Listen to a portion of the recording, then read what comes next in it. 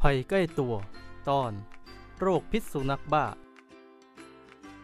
หลายคนอาจยังไม่รู้ว่าโรคพิษสุนัขบ้านั้นคืออะไร โรคพิษสุนัขบ้านั้นเกิดจากเชื้อไวรัสชนิดหนึ่งที่มีชื่อเรียกว่าเรเบียสไวรัส ซึ่งพบอยู่ในสัตว์เลี้ยงลูกด้วยนมทุกชนิดเท่านั้น รวมถึงมนุษย์ด้วย ในปัจจุบันสามารถพบเชื้อพิษสุนัขบ้าได้ในทุกพื้นที่ทั่วโลก แต่สำหรับประเทศไทยแล้วจากผลสำรวจพบเชื้อพิษสุนัขบ้าอยู่ในสุนัขมากถึง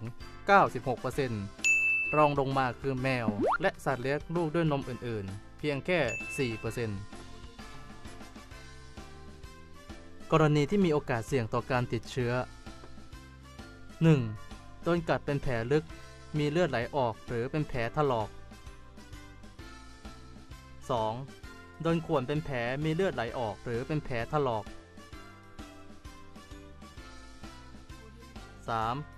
โดนเลียที่ผิวหนังบริเวณที่มีแผลอยู่แล้ว หรือน้ำลายกระเด็นเข้าตาเข้าปาก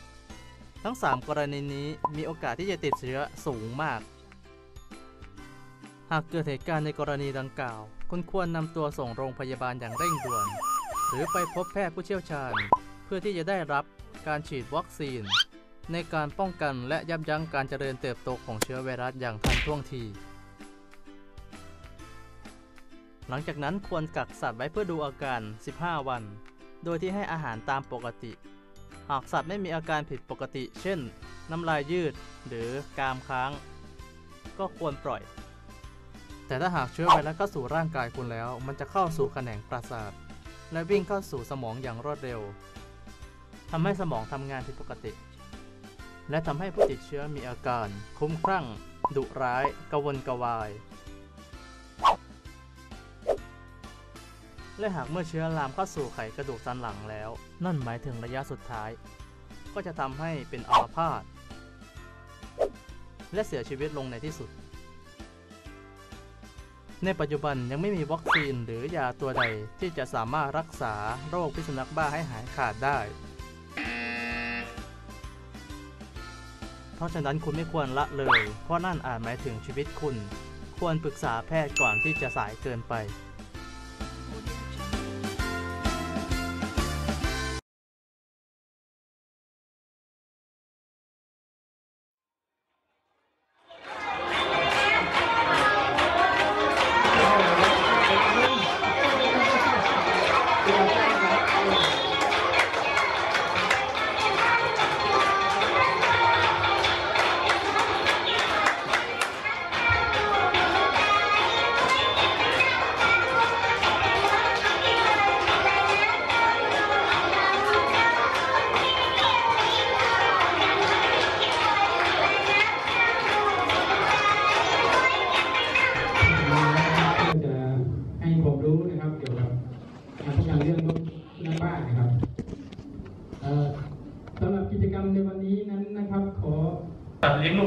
มมีอะไรบ้าง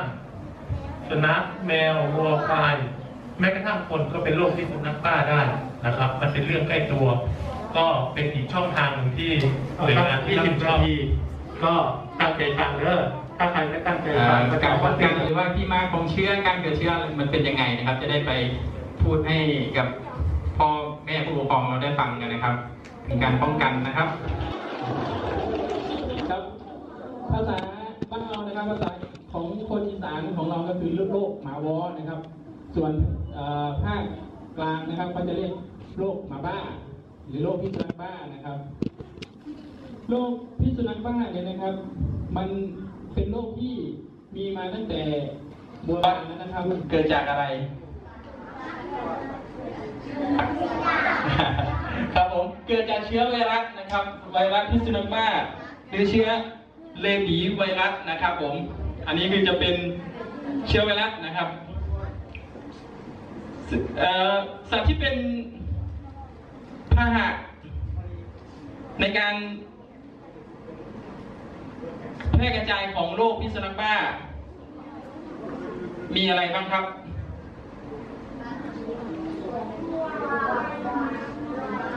อ่า ครับผม สัตว์เลี้ยงลูกด้วยนมนะครับ ที่สามารถจะเกิดโรค พิษสุนัขบ้า และก็เป็นพาหะในการแพร่กระจายเชื้อโรคพิษสุนัขบ้านะครับทุกกันถูกเลียนะครับ อันนี้คือคือจะผ่านทางบาดแผลนะครับ ทางบาดแผล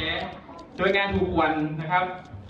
ถูกกัดหรือแม้กระทั่งการเลียนะครับ ก็จะผ่านทางช่องคือทางบาดแผลนะครับ ไม่เอาก็เช่นกันครับประมาณ3ามแปดสามถึงแปดสัปดาห์ ส่วนการฟักตัวของโรคสุนัขบ้าในคนนะครับ ก็ใช้ระยะเวลาประมาณ 3 สัปดาห์นะครับผมสามสัปดาห์ ขึ้นอยู่กับว่าปัจจัยนะครับว่ามันจะช้ไม่เร็วนี้ขึ้นอยู่กับปัจจัยหลายอย่างนะครับไม่ว่าจะเป็นจำนวนเชื้อที่เข้าไปนะครับจากอะไรน้องรู้ไหมคะคำตอบที่ส่วนถูกนะคะ เชื้อไวรัสนะคะ มาจากน้ำลายนะคะ ซึ่งสุนัขกัดคนเข้าไปแล้วนะคะ มันจะมีเชื้อเชื้อพิษนัขบ้านะคะ อาการของโรคพิษสุนัขบ้านะคะ อาการของโรคในสุนัขนะคะ แบ่งได้เป็นสามระยะคือนะคะ ระยะแรกนะคะคือสุนัขจะมีอาการและอุปนิสัยนะคะ เปลี่ยนไปจากเดิมนะคะ ที่สองนะคะ ระยะตื่นเต้นนะคะ สุนัขนะคะ จะเริ่มมีอาการทางประสาทจะมีกระวนกระวายนะคะ ถ้าเกิดแบบนี้น้องอย่าเข้าไปใกล้มันนะคะ ไม่งั้นมันกัดนะคะ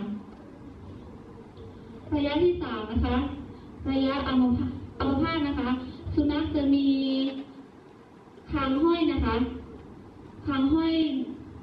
คางห้อยแล้วก็คางตก นะคะจะมีน้ำลายฟูมปากนะคะร้ายนะคะ กับแบบซึมนะคะ บ้าแสดงนะคะ สุนัขบ้าซึมที่แสดงอาการในระยะตื่นเต้นสั้นมากจะอาจจนอาจไม่ทันสังเกตนะคะ และแสดงอาการในระยะอัมพาตเด่นชัด อาการของโรคในสัตว์มีมีสัตว์อะไรบ้างคะเก่งมากนะคะเก่งมากค่ะ